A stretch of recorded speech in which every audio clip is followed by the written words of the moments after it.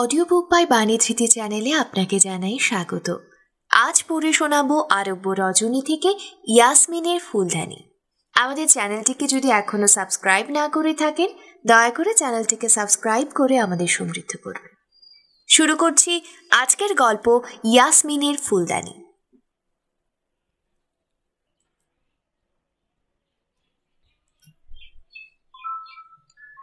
নগরের এক কোণে জীর্ণ কুটিরে তিন বোন একসাথে বাস করে।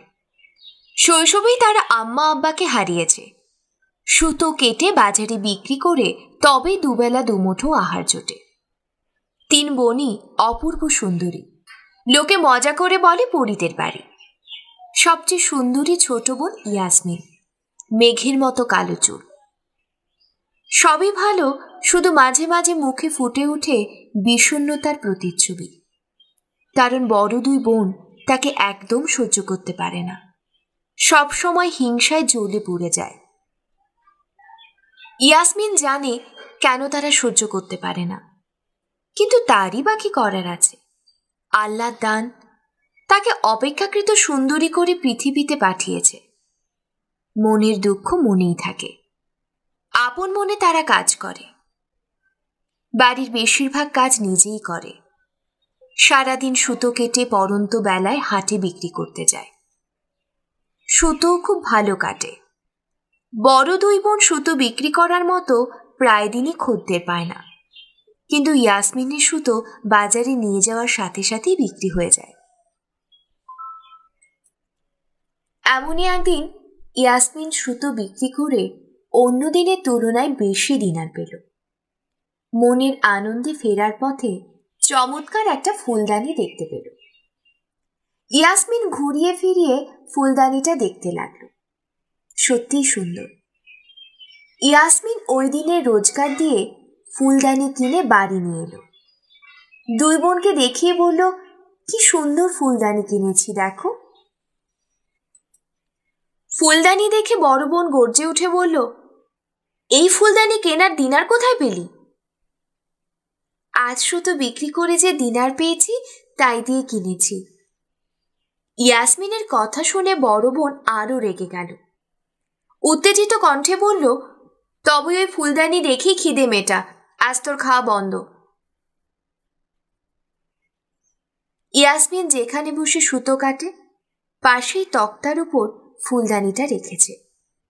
ফুলদানির মধ্যে আবার একগুচ্ছ তাজা গোলাপ ফুল গুজে দিয়েছে। সুতো কাটতে কাটতে যখন ক্লান্ত হয়ে পড়ে, তখন ফুলদানিটার দিকে মুগ্ধ হয়ে তাকিয়ে থাকে। প্রাণ জুড়িয়ে যায়। একদিন সম্রাটের একমাত্র শাহজাদার জন্মদিন উপলক্ষে রাজ্যের প্রজাবৃন্দকে আমন্ত্রণ করেছে। ইয়াসমিনকে বাড়ি পাহারায় রেখে বড় দুই বোন গেল আমন্ত্রণ রক্ষা করতে। ইয়াসমিন কতবার বলেছে, আমাকে সাথে নিয়ে চলো কিন্তু তার কথা কেউ শুনল না। বাইরে থেকে দরজা বন্ধ করে চলে গেল। ইয়াসমিন মনের দুঃখে বিছানায় লুটিয়ে কাঁদতে লাগল। একসময় বিছানা ছেড়ে শখের ফুলদানিটা হাতে তুলে নিল। আপন মনে বলতে লাগল, তোমার গায়ে সূক্ষ্ম কারুকার্যের মতো আমার যদি একটা মকমলের পোশাক থাকতো, তবে আমি কত খুশি না হতাম। কি আশ্চর্য! সঙ্গে সঙ্গে একটা রত্নখচিত মখমলের পোশাক ইয়াসমিনের মাথায় এসে পড়ল। ইয়াসমিন চমকে উঠল। চারিদিকে দেখতে লাগল। ঘরের সব দরজা জানালা বন্ধ। ইয়াসমিন মনে মনে ভাবল, নিশ্চয়ই এটা সাধারণ ফুলদানি নয়, জাদু ফুলদানি। পরক করার জন্য বলল আমার খুব খিদে পেয়েছে, যদি ভালো ভালো খাবার পেতাম সঙ্গে সঙ্গে সোনার থালায় নানা রকম সুখাদ্য। ইয়াসমিন খুশিতে হাততালি দিয়ে উঠল। আনন্দে ফুলদানিটা বুকে চেপে ধরল। তারপর সেই সুখাদ্যের খানিকটা খেয়ে বাকি খাবার লুকিয়ে রাখল। রত্নখচিত মখমলের পোশাকে নিজেকে সজ্জিত করে নিল। আয়নার সামনে দাঁড়িয়ে নিজেকে অপরিচিত বলে মনে হলো। ফুলদানিটা হাতে নিয়ে বলল যদি দরজাটা খুলে যেত, তবে শাহজাদার জন্মদিনে যেতে পারতাম। দরজা খুলে গেল। ইয়াসমিন দামি দামি পোশাকে সজ্জিত হয়ে বেরিয়ে পড়ল। একসময় পৌঁছে গেল সম্রাটপুরীতে। সবাই তার দিকে মুগ্ধ নয়নে তাকিয়ে আছে। মনে মনে ভাবছে, এ নিশ্চয়ই কোনো সম্রাটের শাহজাদি হবে। সম্রাটপুরীর চারিদিকে এ খবর উঠে গেল। এক আশ্চর্য সুন্দর কন্যা এসেছে। যার সারা শরীর দামি দামি রত্নখচিত পোশাকে সজ্জিত।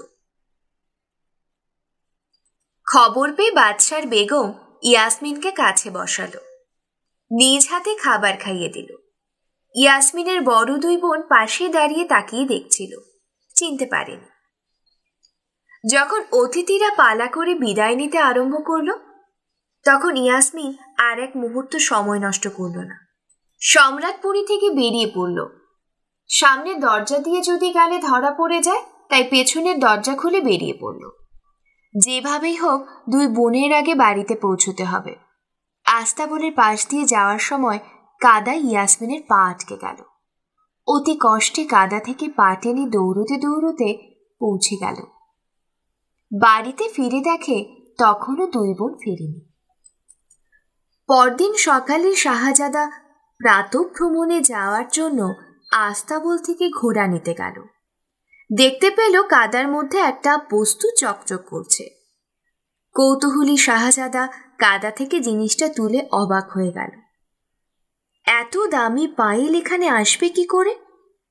নিশ্চয়ই গত রাতে অতিথিদের কারও পা থেকে এটা খুলে পড়েছে।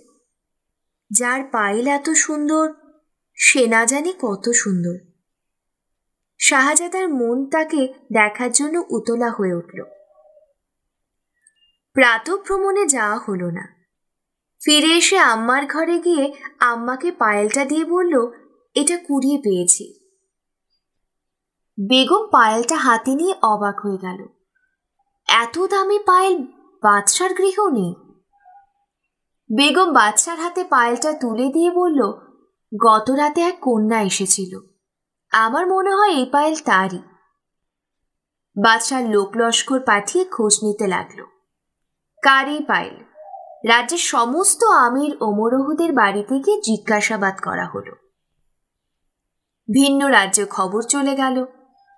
বাদশার লোকেরা হাজির হলো তিন বোনের বাড়িতে। পায়েলের কথা শুনে ছোট বোন ইয়াসমিন বলল, ওই পায়েল আমার। কোথায় সেই পায়েল? বাদশার লোক বলল, বেগমের কাছে আছে। আপনি চলুন, বেগম তলব করেছে। এক্ষুনি আসছি। বলে ইয়াসমিন দরজা বন্ধ করে দিল।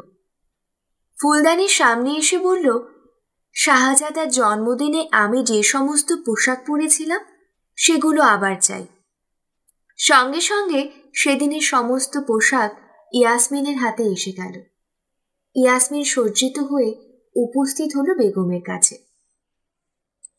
বেগম তাকে দেখে আনন্দে জড়িয়ে ধরে বলল, আমি জানতাম, তুমি ছাড়া এই পায়েলির মালিক অন্য কেউ হতে পারে না। বেগম পুত্রকে ডেকে পাঠালেন।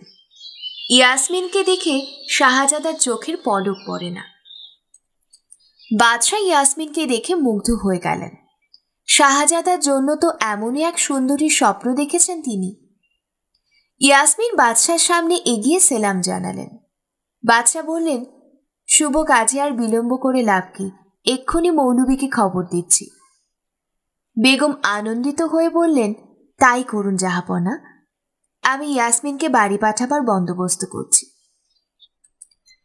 শাহজাদির মতো ইয়াসমিনকে বাড়িতে ফিরতে দেখে বড় দুই বোনের চোখ ছানা বড়া হয়ে গেল। ইয়াসমিনের কাছে আসল ঘটনা জানতে চাইল। ইয়াসমিন ছিল যেমনই সুন্দরী, তেমনই সরল। অকপটে বড় দুই বোনকে জাদু ফুলদানির কথা বলল। সব শুনে রাগে, হিংসায় বড় দুই বোন মনে মনে জ্বলে পুড়ে যাচ্ছিল। শুভদিন দেখে শাহজাদার সঙ্গে ইয়াসমিনের বিয়ে হয়ে গেল। ইয়াসমিন চলে গেল সম্রাটপুরীতে। সাথে করে নিয়ে এলো তার দুই বোনকে। কিন্তু সুখ বেশি দিন তাদের কপালে সইল না। ইয়াসমিনের বড় দুই বোন নানান রকম কুমতলব আটতে লাগল তারা মনে মনে ভাবল যে ফুলদানি জাদুতে ইয়াসমিন আজ শাহজাদার বেগম হয়েছে সেই ফুলদানি জাদুতেই তাকে শেষ করতে হবে। সম্রাটপুরীতে উৎসবের একটি দিনে দুই বোন ছোট বোনকে সাজাতে বসল। বড় বোন বলল আজ তোমার মাথায় একশো একটি হীরের কাটা দিয়ে এমন খোপা বানিয়ে দেব যে অতিথিরা শুধু তোমার ওই খোপার প্রশংসায় পঞ্চমুখ হবে। দিদির কথা শুনে ইয়াসমিন খুশি হলো। বড় দুই বোন ইয়াসমিনের মাথায় এক এক করে হীরের কাটা বসাতে লাগে একশোটা কাটা বসবার পর যখন আরেকটি কাটা বসালো, সঙ্গে সঙ্গে ইয়াসমিন টিয়া পাখি হয়ে ফুরুত করে জানালা দিয়ে পালিয়ে গেল। ইয়াসমিনকে খুঁজে পাওয়া যাচ্ছে না। বড় দুই বোনকে জিজ্ঞাসা করলে তারা বলে, আমরা কি করে জানব? শাহজাদা ইয়াসমিনকে পাওয়া যাচ্ছে না শুনে অজ্ঞান হয়ে গেলেন। জ্ঞান ফিরল দুই দিন পর। খাওয়া দাওয়া ত্যাগ করে শাহজাদা শুধু ইয়াসমিনের কথা ভাবেন। বাদশাহ বেগম আড়ালে চোখের জল ফেলেন। একদিন শাহজাদা পালঙ্কে শুয়ে আছেন। এমন সময় একটি টিয়া পাখি তার পাশে বসে করুণ সুরে ডাকতে লাগল। শাহজাদা টিয়া পাখিটির দিকে হাত বাড়িয়ে দিল। সঙ্গে সঙ্গে টিয়া পাখিটা শাহজাদার হাতে বসে ঠোঁট ঘষতে লাগল। পরম যত্নে শাহজাদা টিয়া পাখিটি বুকের কাছে নিয়ে হাত বোলাতে লাগল। যখন শাহজাদা মাথায় হাত দিল, সঙ্গে সঙ্গে টিয়া পাখি মাথা সরিয়ে নিল। পাখিটির ব্যবহারে শাহজাদা একটু অবাক হয়ে গেল। তার মনে হলো পাখিটি যন্ত্রণায় মাথা সরিয়ে নিয়েছে। সন্তর্পণে শাহজাদা আবার পাখিটির মাথায় আলতো করে হাত রাখল। হাতে কাটার মতো কি যেন ফুটছে। কৌতূহলী হয়ে শাহজাদা মাথার পালক ফু দিয়ে সরিয়ে দিল। পাখিটি সারা মাথায় কে যেন অজস্র কাটা বেঁধে রেখেছে। শাহজাদার মন খারাপ হয়ে গেল। মানুষ এত নিষ্ঠুর? শাহজাদা আলতোভাবে এক এক করে কাঁটাগুলো পাখির মাথা থেকে তুলতে লাগল। যখন শেষ কাঁটাটি তুলল, তখন কোথায় সে টিয়া পাখি? শাহজাদার কোলে শুয়ে আছে তার নয়নের মনি ইয়াসমিন। শাহজাদা জড়িয়ে ধরে তাকে আদর করতে লাগল। জিজ্ঞাসা করল, এমন ঘটনা ঘটল কি করে?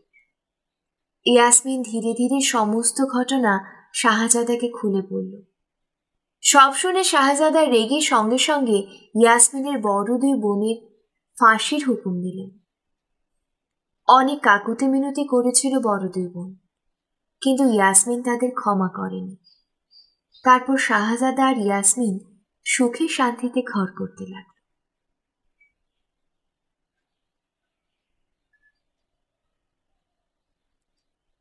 এরই সাথে শেষ হলো আজকের গল্প ইয়াসমিনের ফুলদানি। গল্পটি কেমন লেগেছে কমেন্ট করে জানাবেন এবং আরও জানাবেন আপনার পছন্দের বইয়ের নাম। সকলে ভালো থাকবেন এবং সকলকে ভালো রাখবেন